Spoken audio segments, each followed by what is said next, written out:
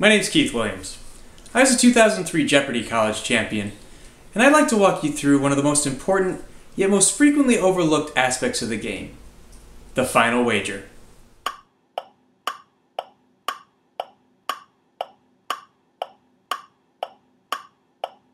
So, why is wagering strategy so important? Well, if you think about it, it might be the only aspect of the game you actually control. You can't do anything about what goes on the board, or how fast your opponents are on the buzzer, or who finds the daily doubles. You might be the world's best Jeopardy player, but at some point you're going to find yourself in a tight game, so you have to know what to do. Let's look at an example. Here, Tim has 14,200, Liz has 11,000, and Jason has 7,600. By the end of this series, you'll be able to calculate that Tim should wager at least 7,800, Liz between 4,200 and 4,600, and Jason no more than 800. So where do we begin? Think about something else that's complicated. Let's say you're planning for a wedding. You don't just throw everything in the air and hope it all works out. In the end, you say, all right, today I'm going to look at an event space, and next week I'm going to look for catering, and the week after that I'm going to find a DJ.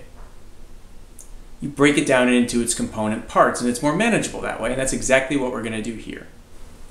The key to wagering is not to look at all three players at once, but to look at just two at a time. Let's forget about Jason for now, and look at just Tim and Liz. Now we can calculate their wagers in three easy steps.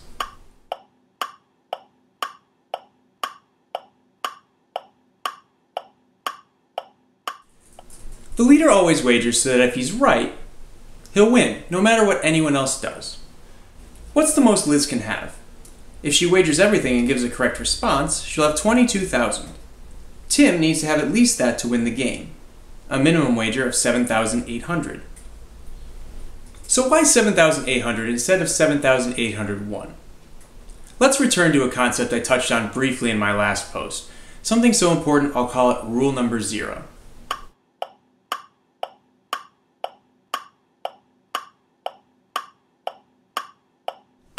Your only goal is to come back the next day.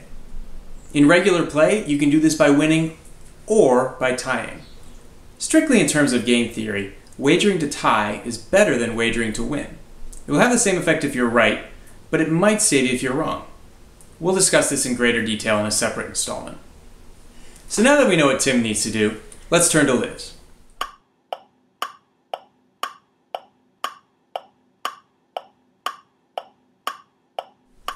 If you're trailing, you can't assume the leader will wager the tie. Focus instead on what he'll have if he gets it wrong, and aim to have at least that. If Tim is wrong, he'll have at most 6,400. Liz will need to have at least this total to return the next day. She does some subtraction. 11,000 minus 6,400 is 4,600. So Liz can wager at most 4,600. Now there's one more rule we need to look at.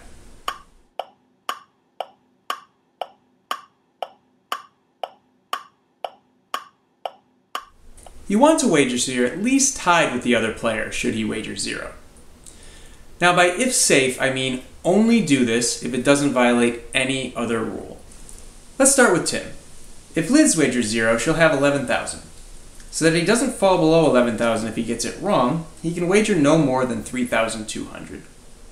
But since he already has to wager at least 7,800 from rule number one, we'll ignore this. Now for Liz. If Tim wagers zero, he'll have 14,200. To match this total, Liz will need to wager at least 3,200. This works with her maximum wager of 4,600 from rule number 2. So against Tim, Liz needs to wager at least 3,200, but no more than 4,600. That's it. When only two players are involved, wagering is usually as easy as 1, 2, 3. Now how about some practice?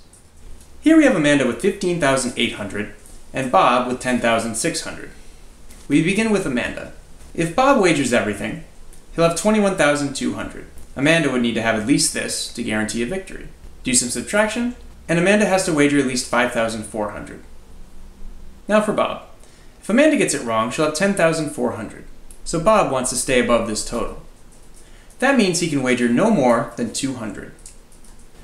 Now for rule number three, and we'll start with Amanda. If Bob wagers zero, he'll have 10,600. So for Amanda to stay above that total, she can wager no more than 5,200. But you'll notice that she's already committed to wagering at least 5,400. So this doesn't work. Now for Bob. If Amanda wagers zero, she'll have 15,800. So to match this total, Bob would need to wager at least 5,200.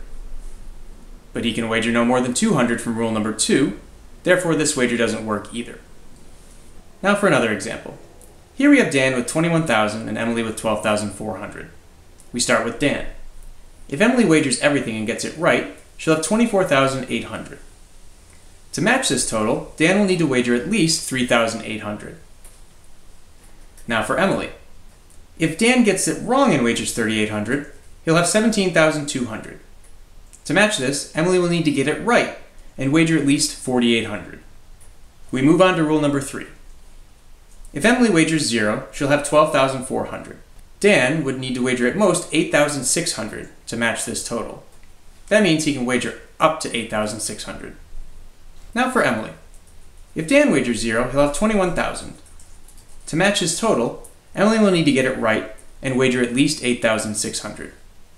In this two player game, that works with her original wager, so she should wager at least 8,600.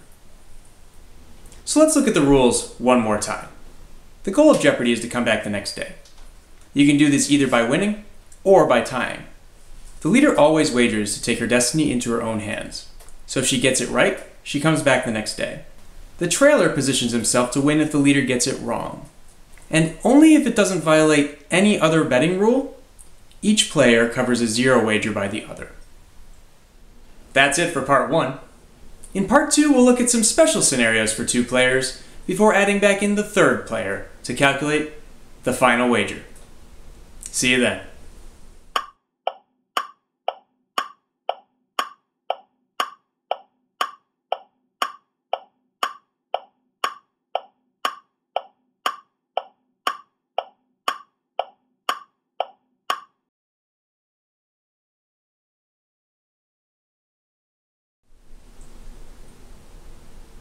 Slurring an example.